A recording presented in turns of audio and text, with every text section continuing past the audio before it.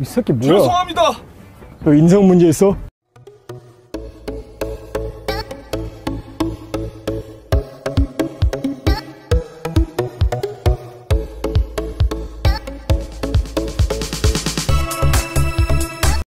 이게 알레치에게 빼줬습니다. 알레치 전성현 아하 지금은 정성우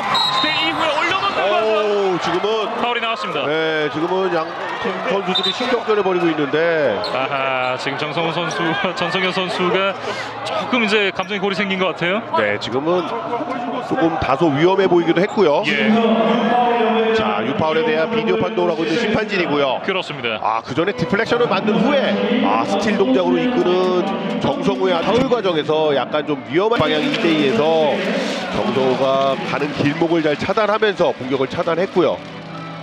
어, 지금은 점프 뜨는 동작에서 손이 닿기 때문에 조금 위험해 보일 수 있었습니다. 예 일단 뭐 부상으로 이어지지 않아서 좀 다행이고요.